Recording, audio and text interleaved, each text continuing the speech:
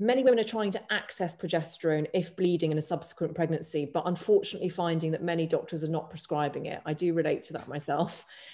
Will this be part of national guidance? And is there any advice that you have for women who are currently in this situation?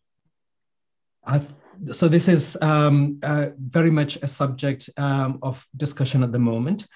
Uh, we uh, surveyed nearly 200 healthcare providers up and down the country, and we were pleased to find about um, 74% are 74% of clinicians are happy to provide progesterone to women who need it, uh, but 26 uh, percent aren't.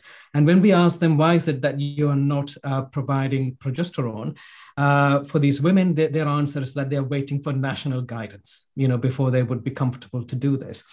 Uh, and so NICE, um, that is the body that looks at uh, recommendations and issues guidance uh, for practitioners in the UK. They are looking at this very question right at the moment.